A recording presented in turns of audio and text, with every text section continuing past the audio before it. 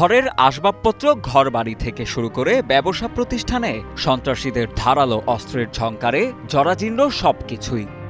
কুষ্টিয়ার কুখ্যাত সন্ত্রাসী লিপটন ও তার বাহিনীর হামলা, ভাঙচুর লুটপাত ও গুলিবর্ষণের ঘটনায় এখনও আতঙ্কিত এলাকাবাসী। ছোটোর থেকে সন্ত্রাস। ছোটোর থেকে সন্ত্রাসীগিরি করতে করতে ও দেশ ছেড়ে পালায়। মানুষজন মারা ধরা করে দেশ ছেড়ে পালায়, তারপরে যতদিন ভারতবর্ষে ছিল ততদিন এই দেশ শান্তি ছিল। স্থানীয় রাজনৈতিক মতপার্থক্যের জেরে ২৬ সেপ্টেম্বর রাত দশটার দিকে বিশটি বাড়িতে হামলা ভাঙচুরের পর চালানো হয় ব্যাপক লুটপাট। ভেঙে গুড়িয়ে দেয়া হয়েছে দোকানের শাটার সহ টিন শেডের দোকানপাট। কুষ্টিয়া সদর থানার উজানগ্রাম ইউনিয়নের দুর্বাচারা গ্রামসহ কয়েকটি এলাকায় ঘটেছে এমন বর্বর ঘটনা। চায়না কুড়াল এসবগুলো নিয়ে এসে আমার দোকানের উপরে হামলা করে এবং গুলিবর্ষণ করে আমার দোকানের ভিতরে তালা দোকানের তালা ভেঙে ভিতরে প্রবেশ করে আমার দোকানের এক লক্ষ বিশ হাজার টাকা নগদ সহ আমার দোকানের মালামাল লুণ্ঠন করে। উজানগ্রাম ইউনিয়ন পরিষদের চেয়ারম্যান ও আওয়ামী লীগ নেতা সানোয়ার মোল্লার সমর্থন করায় এই হামলা বলে জানায় এলাকাবাসী। বহুত হুমকি দেয় যে তোমার দশ দিনকে এক মাস এক সপ্তাহ এরকম মানে সময় দেয়। তখন এরা আদি না হাতে তখন ধরেন যে সন্ত্রাসী কার্যকলাপ সে করে যাচ্ছে। পুলিশের তালিকাভুক্ত সন্ত্রাসী ও কথিত চরমপন্থী নেতা লিপটন।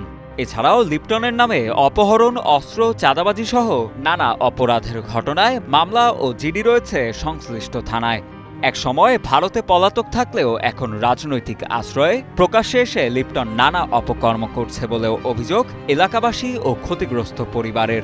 আমার ঘরের ভিতরে যে শোকেস ভাঙাছে, টিভি ভাঙাছে, লিপ্টনের বাহিনীর লোকজন, তারপরে গোয়ালি দুটো গরু ছিল, গরু দুটো নিয়ে গেছে। আরও আমার সর্বশান্ত করে আমার মেয়ে লোকের নলিপার বেকি ধরেছে? বাড়ি ঘর দৌড় ভাঙি চলে লুট দারাজ করে তার দলে না গেলে লুট দারাজ করে নিচ্ছে। আমরা এখন চাই আছে শান্তি। ঘটনার পর লিপটনের বাড়ি থেকে দেশীয় নানা প্রকার অস্ত্রসহ আটটি মোটরসাইকেল উদ্ধার করা হয়। এছাড়া পিস্তলের সাতটি গুলি ও গুলির খোসা উদ্ধার করা হয়। দুর্বৃত্ত লিপটন সহ তার ক্যাডারদের শাস্তির দাবি জানান এলাকাবাসী। আমাদের মেয়ে ছেলের উপরে, গার উপরে পিস্তল, গুলি দিয়ে ভয় ভয় দেখাইছে, আমাদেরকে হুমকি দিয়েছে। আমাদের ঘর বাড়ি সব কুপিয়ে থেকে গেছে এবং এসে বকেছে। তার কোনো লোকজন নাই দেশ বিদেশের থেকে লোকজন হায়ার করে নিয়ে আসে সে আমাদের উপরে হামলা চালাচ্ছে। তে ওর শাস্তি হয় এবং এই কাজে যেন ও না থাকে এই পথে যেন না থাকে আমার দেশ শান্তি হোক।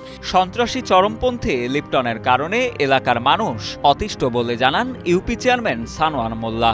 তার কঠিন শাস্তি না হলে এলাকায় শান্তি ফিরবে না বলেও জানান তিনি। যখন সে গুলি করে, তখন আমরা দেখি যে এই গুলির মুখে আমাদের সাধারণ জনগণ দাঁড়ানো সম্ভব না।